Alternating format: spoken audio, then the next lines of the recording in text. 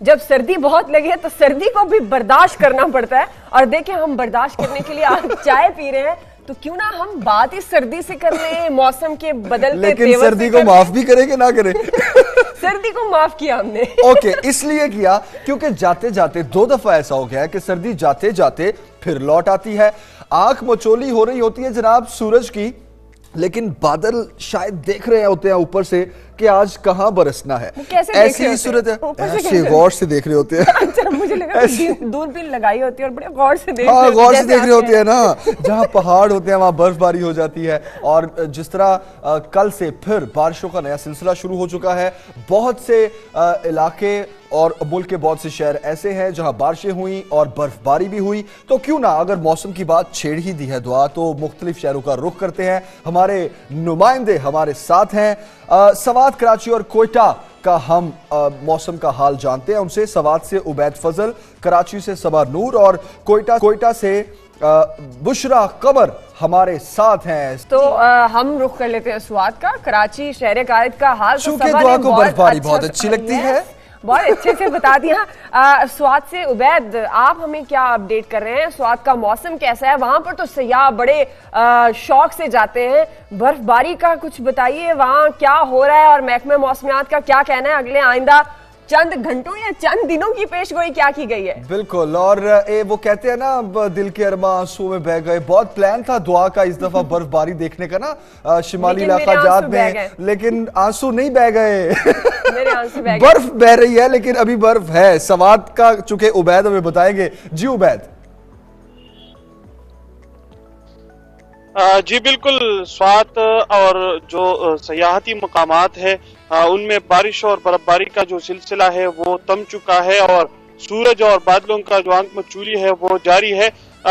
ठंडी ठंडी हवाओं का राज है, लेकिन जो मैदानी इलाके हैं और जो पहाड़ी इलाके हैं, इनमें वो शदीद सर्दी की लपेट में है और काफ़ी ठंड इस जो है, वो इस वक्त महसूस किया जा रहा है। कालाम और मालम जब्बा महोडन और दीगर सियाहती मकाम में जो है, काफ़ी बर्फ़ पड़ चुकी है। कालाम में अब तक तकरीबन चार चार फुट तक मालम जब्बा में भी, चार फुट तक महोडन में, पाँच फुट तक, और जो दीगर सियाहती मकाम में, इनमें काफ़ी बर्फ़ जो है वो पड़ चुकी है, और शदीद सर्दी जो है वो महसूस किया जा रहा है। बर्फबारी की वजह से वहाँ के मकामी लोगों के मुश्किल भी बढ़ गए हैं सयाह भी आ रहे हैं। इन मुश्किल के बावजूद मुल्क के दीगर मुख्तलिफ़ जो इलाके हैं, उनसे सयाह स्वाद का रुख कर रहे हैं, और यहाँ से न सिर्फ़ वो खूबसूरत मनाजिर से जो है लुत्फानंदोज हो रहे हैं, बल्कि यहाँ बर्फबारी से और बर्फ़ से भी खूब लुत्फ उठा रहे हैं। सयाह जो है वो कालाम मालम जब और दीगर सयाहती मकाम में जो है वो होटलों में डेरे डाले हुए और बर्फबारी के इंतज़ार में है कि कब ये आसमान से जो ये सफ़ेद गाले हैं वो गिरेंगे और वो खूब यहाँ पे जो है एंजॉय करेंगे। जो सयाहती मकाम है इनमें सयाहों की भी जो है भीड़ लग चुकी है और वो यहाँ पे खूब एंजॉय कर रहे हैं ठीक है। उबैद सयाहों की जन्नों की जन्नत कहा जाता है। सवाद को आपने भी तफसीलन बताया कि किस तरीके से सयाह अभी भी यहाँ का रुख कर रहे हैं और वो किस तरीके से होटल्स में ठहरे हैं। आपसे ये भी पूछते हैं कि कोई किसी किस्म की मुश्किल तो नहीं है। उनको क्या आप हमें बताएँ ये कौन कौन सी जगह जहाँ पे सयाह सबसे ज़्यादा आते हैं? उबैद मैं आपसे ये पूछना चाह रहा था कि जिस तरह कोयटा में दो डिग्री सेंटीग्रेड है टेम्परेचर तो यहाँ पर क्या सूरत हाल है सवात में? एक तो टेम्परेचर दूसरा ये कि सयाहों को किसी किस्म की मुश्किल तो नहीं है, और खाने पीने में ज़्यादा क्या चल रहा है? जी बिल्कुल टेम्परेचर की बात हो रही है तो कालाम में इस वक्त तकरीबन मनफी छह तक तकरीबन जो है वो दर्जा हरारत जो है वो रिकॉर्ड हो चुका है। मालम जब्बा में मनफी पाँच तक जो है वो दर्जा हरारत रिकॉर्ड हो चुका है और सर्दी की शिद्दत जो है वो बरकरार है। शदीद सर्दी जो है वो इस वक्त महसूस किया जा रहा है।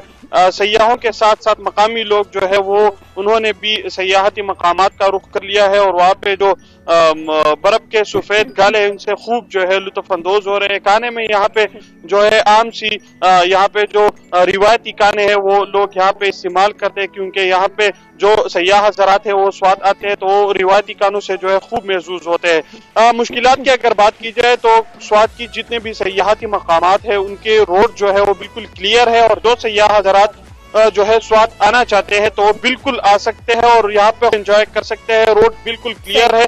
आ, लेकिन आ, अपने साथ जो है गर्म कपड़े और गर्म जो कंबल है वो साथ ज़रूर लाएँगे क्योंकि इसी के बगैर यहाँ पे आ, मुश्किल है। क्योंकि सर्दी की शिद्दत जो है वो बहुत ज़्यादा है। लेकिन सयाह जो है जो है वो इंजॉय कर सकते हैं बट ज़ाहिर है जिस तरह हाँ, से उबैद बता रहे हैं कि एहतियाती तदाबीर और खासतौर पर सर्दी से बचने हाँ। की एहतियाती तदाबीर ज़रूर इख्तियार करें। सबा कराची के लोग क्या खा रहे हैं? मैंने सुना है कि कराची में बहुत ज़्यादा जब इस तरह का मौसम हो तो बड़ी स्पाइसी खाने वैसे ही खाते हैं तो थोड़ा उसका लेवल बढ़ जाता है। प्रॉन्स भी खाए जाते हैं बड़ा सी फूड्स की तरह भी जाया जाता है। लेकिन सबा ये भी बताएँ ये माइनस सिक्स और दो डिग्री सेंटीग्रेड ये सुन के कैसा लग रहा है आपको? अगर हम स्वाद की बात करते हैं कोयटा की बात करते हैं कराची की बात करते हैं तो जहाँ जाती सर्दी लौट आई है वहाँ पर खुशगवारियत का भी एहसास हुआ है। सबा बुशरा और उबैद फजल आप तीनों का बहुत शुक्रिया। सुबह सवेरे पाकिस्तान में हम बात कर रहे थे मौसम की और आपको ये भी बता रहे थे कि मौसम जाता मौसम जब लौट आए तो वो कितना खुशगवार हो और मेरा दिल ये कर रहा है।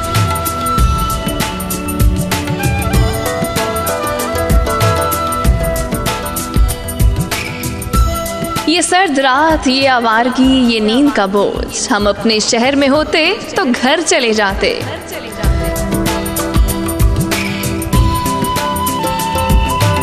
लबों पे आके कुल्फी हो गए आशार सर्दी में। गज़ल कहना भी अब तो हो गया दुश्वार सर्दी में।